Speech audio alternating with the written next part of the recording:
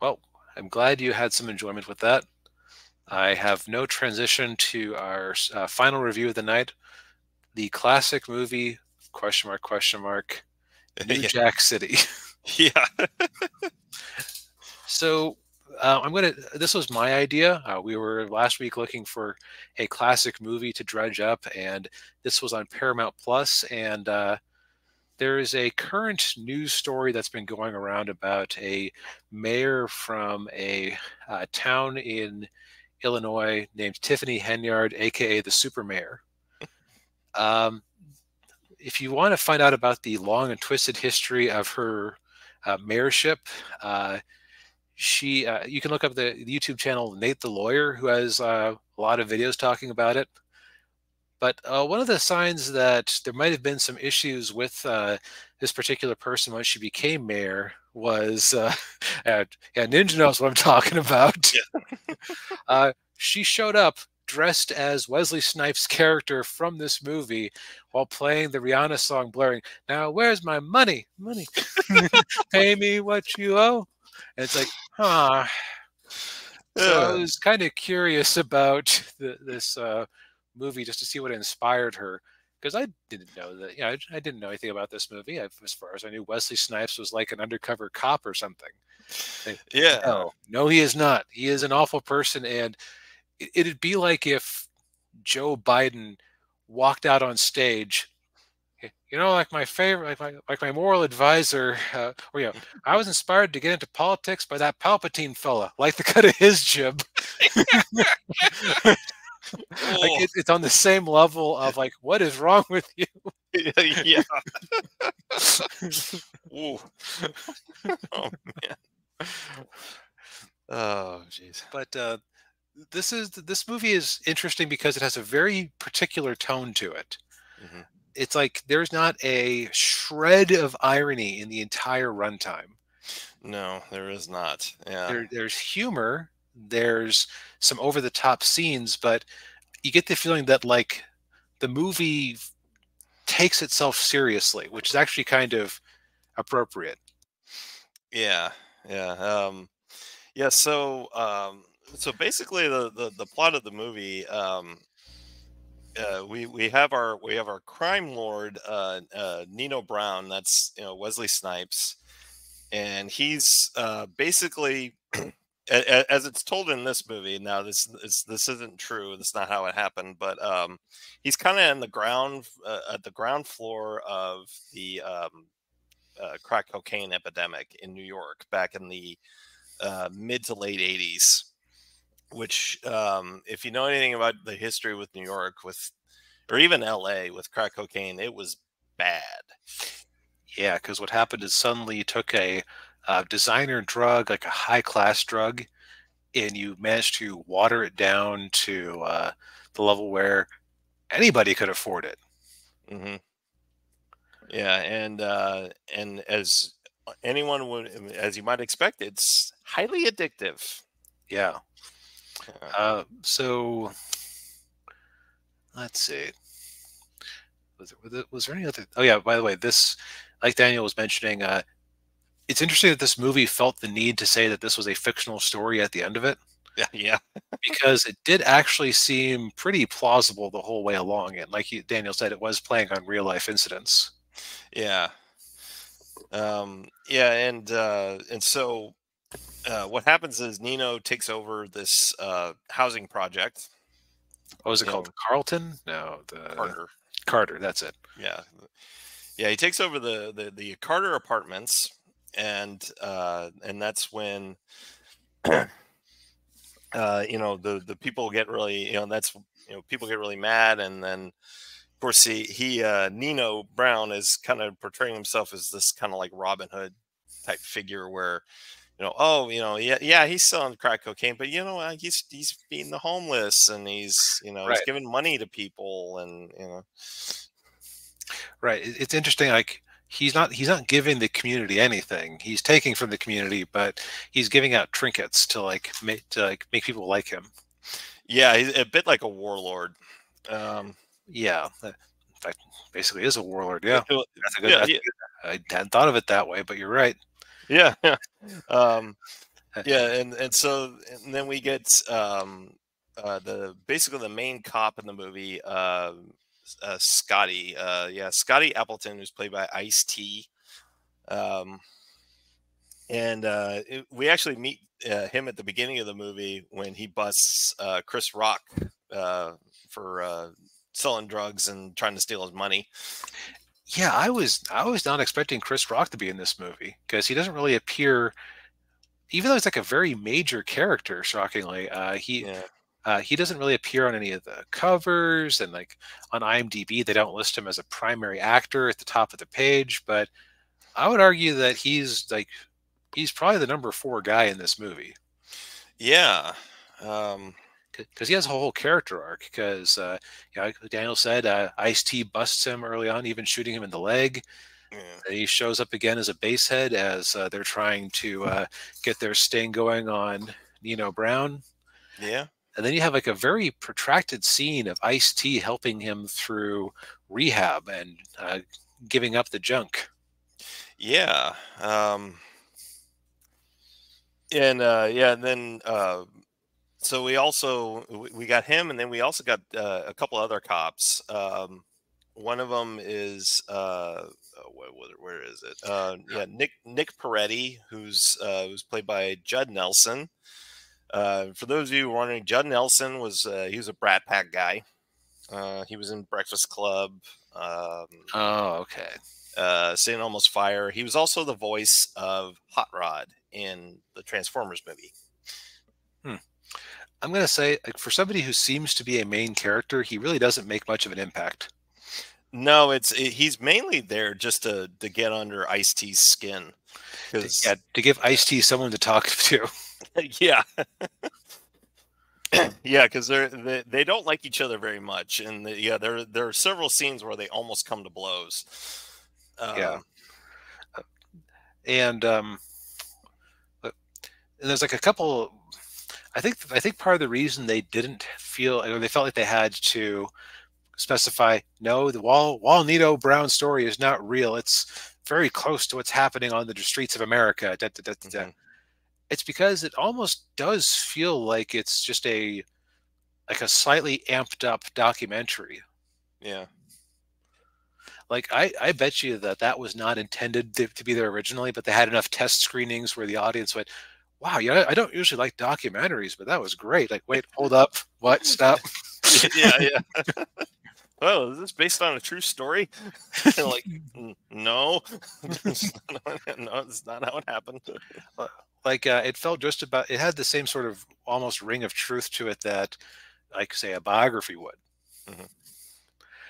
uh, of course there's a few things that seem that are like giveaways but you know they, they always make up stuff for those movies anyway so Oh yeah, yeah. but um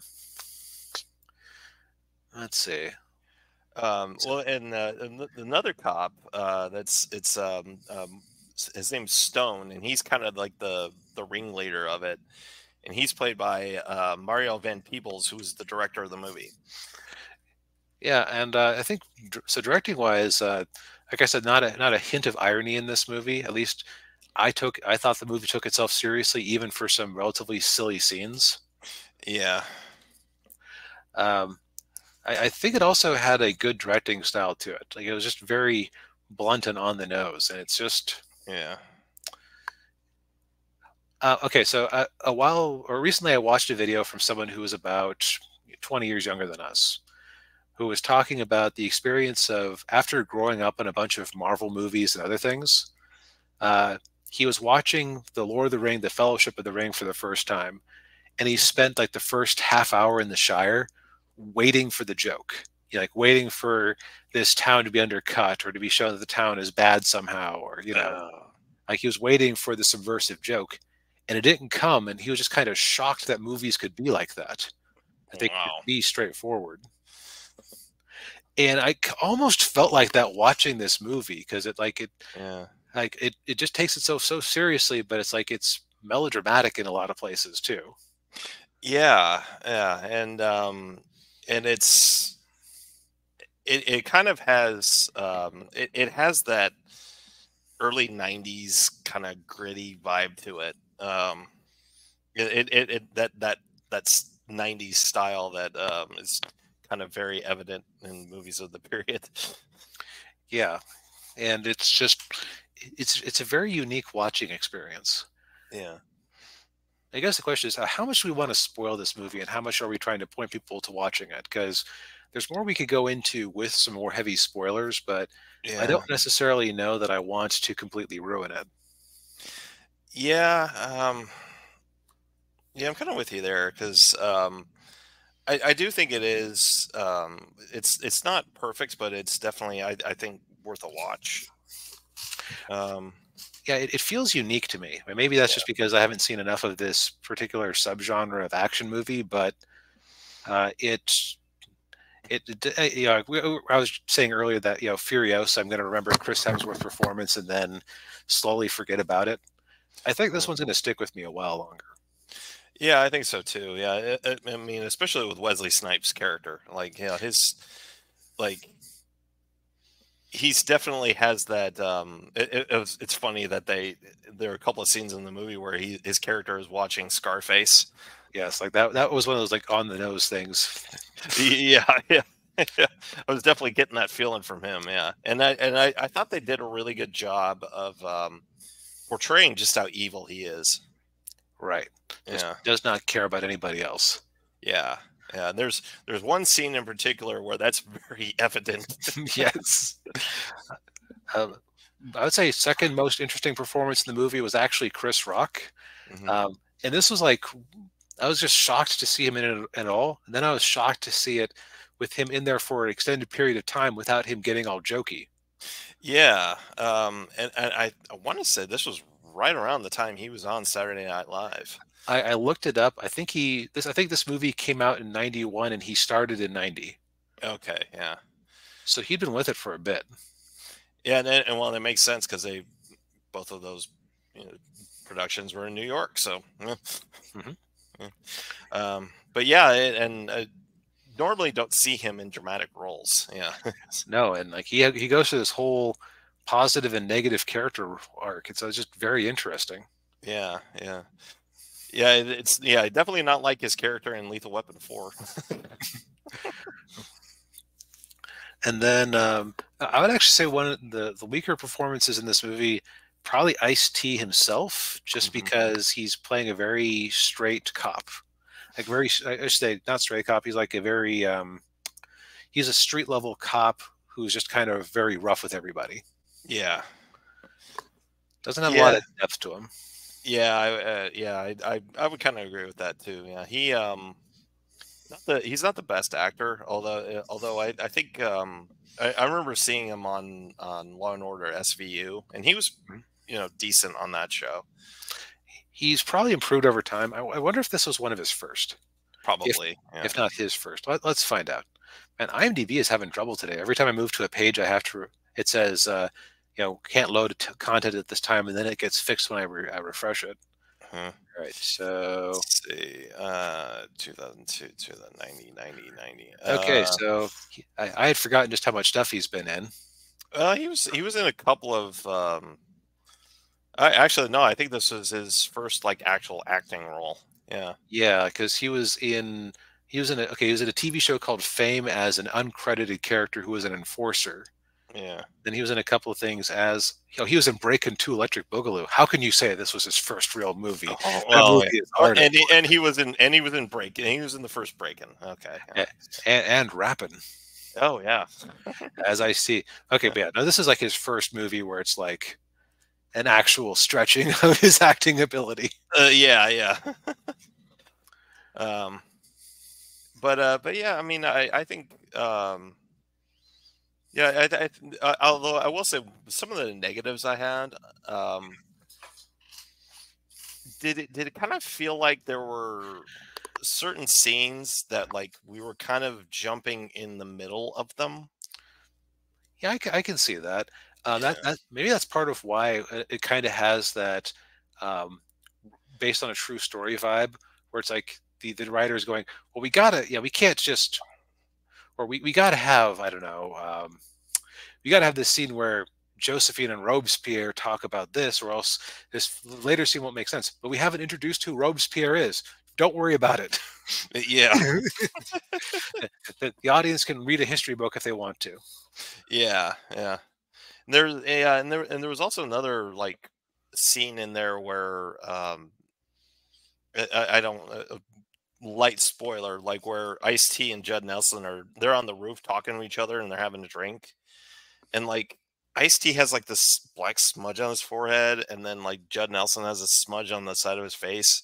I'm Hmm. kind of like, Like, had they just been in a fight or something? yeah. that was my thought. I'm like, well, were they like fighting each other before? And because I mean, like I like because like I said, like throughout the movie, the, those two guys like come, uh, they almost come to blows in almost every scene they're in together. And I, I wonder if maybe there wasn't like a like a fight scene in there, and then when they were done fighting, they're like, all right, let's just All right, we we punched it it out. out. Let's just actually work together. yeah, yeah, Oh, speaking of Scarface, uh, Ice T did a voice in the Scarface: The World Is Yours video game from 2006. the uh, as the creatively named John Johnson. uh. well,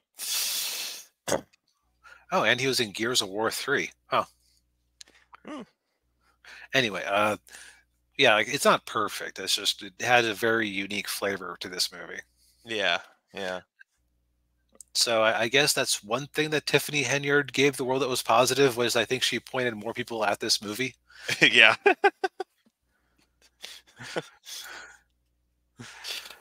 yeah. But uh but yeah, I mean yeah, like we said, yeah, I, I think it's worth a watch. It's you know, like we said, it's on Paramount Plus, so yeah. One of the cheaper uh, streaming services to get a month of, and they would love to have you, as bad as things are. Yes, because uh, I don't, yeah, don't know how much longer that streaming service is going to be around for. I don't know how much long, longer Paramount is going to be around for at this rate. Oh, that's true. Yeah. Uh, well, I okay. Well, I, I think we've uh, exhausted all of our Indeed. for the night.